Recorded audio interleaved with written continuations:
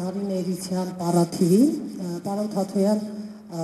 դուք նշեցիք համանadrական դատարանի հետ կապված, որքանով է դուք դա հավանական համարում համանadrական դատարանում ձեր հայցի օբյեկտիվը հաշվի առնելով նաև համանadrական դատարանի փոփոխությունը եւ նաեւ իմադի պատգամավորները նշում են որ սա նաեւ ձեր նկատմամբ պատժիչ է ասած գործունեությունը մասնավորապես Լուսավոր Հայաստանի Ստանոս Սիմոնյանը նշել է, որ սա պատժիչ գործողություն է ձեր լավ աշխատանքի համար եւ նպատակն է զրկել ֆինանսական ինքնուրույնությունից հույս ունենալով այդպիսով կախվածության միջոցով վերահսկել ձեր աշխատանքը։ Եվ եթե կարելի է մի փոքրել երրորդ հարցը, դուք Ադրբեջանի պահը նշեցիք այսպիսով նաև կառավարությունը ինչպես այլ ոլորտներում ենք նաև նկատում փորձում է որոշակիորեն նաև այսպես հրաշանել Ադրբեջանի կարգավիճակը, ակարգավիճակը, այսպես կասկածի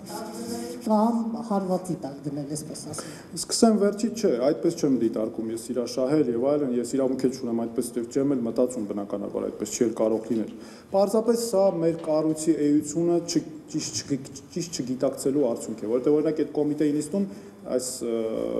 չարսեմ կոնկրետ կոնկրետով, բայց ինձ հստակ սա ոնց որ եզրահանգումը այն էր, որ դե տեխնիկական լուծում է սա ասենք ես այսքան հիմնավորում ի՞նչն է տեխնիկական լուծումը սրա այսինքն այս կառույցի էությունը չգիտակցելու պարզապես ճիշտ չընկալելու ճիշտ էությունը չընկալելու արդյունք է որովհետև սա այսպես ինչ որ մեծ վարչություն չի, ասենք, չգիտեմ, գործադիր իշխանության համակարգում ամենայն հարգանքով բոլոր այն մեր գործընկերներին, ովքեր այդտեղ աշխատում են։ Ես սա պարզապես ներկայացնում եի հետևանքը։ Հիմա ինչ վերաբերում է համանadrական դատան, ես համանadrական դատանը մեր իրավական համակարգում, դատական իշխանության համակարգում կարևորագույն օղակներից է, այն ժողովրդավարությունը պաշտպանելու համար կոչված է եւ մեր սահմանադրական դատարանը ապացուցել է արդեն մի քանի անգամ, օրինակ ռազմական դրության ժամանակ ես դիմել էի սահմանադրական դատարանը խոսքի ազատության մասով կասեցրեց մի անգամից անգամի սեփական նախաձեռնությամբ այդ դրույթների գործողությունը, այնպես որ ես դիմելու եմ բարձր դատարանին եւ անմիջապես մինչ այդ ես կարծում եմ կունենանք միջազգային եզրակացություններ, որովհետեւ սա միջազգային ամեն դեպքում ուշադրության ներքո է։ Ես շնորհակալ եմ քաղաքացիական հասարակության իմ գործընկերներին, ովքեր շատ արագ արձագանքեցին այս խնդրահարույց, այսինքն մարդիկ, ովքեր իրական գիտակցում են այս կառույցի էությունը, նշանակությունը։ Անդիմադիր падգամավորներին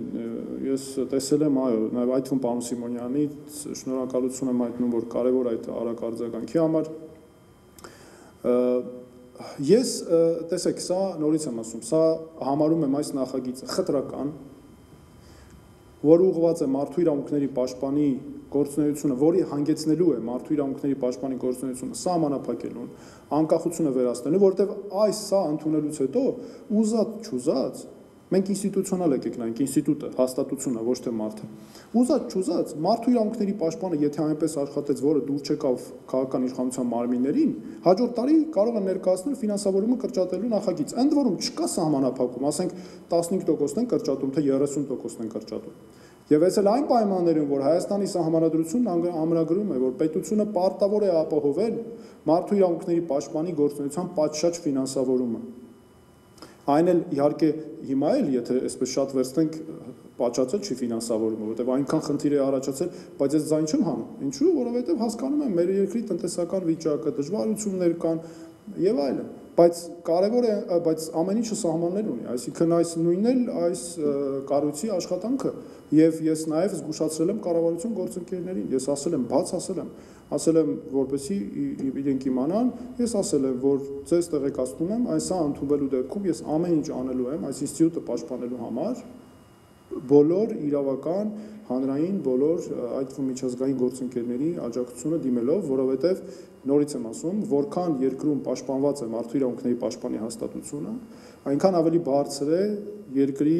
ժողովրդավարության կայացման աստիճանը, ավելին նորից եմ ասում, ազգային ժողովում ազգային ժողովը որպես երաշխիք այս մեր դեպքում չի ծառայելու, որովհետև քաղաքական իշխանության մարմինները քաղաքական որոշման կայացման արդյունքում սա կքվեարկվի նաև ամբողջությամբ ազգային ժողովում եւ ես ունեմ դրա համար հիմնավոր կասկածներ եւ հիմքեր ենթադրելու ինչու ինչու որովհետեւ նախկինում երբևէ ոչ 2000 իմ աշխատանքի ժամանակ 16-ին, 17-ին, 18-ին, 19-ին, 20-ին չի եղել որևէ դեպք, որ կառավարող խմբակցության օրինակ ասենք թե քննադատելով կառավարությանը կամ չհամաձայնվելով բարձրանա մեր պետական բյուջեի նախագիծը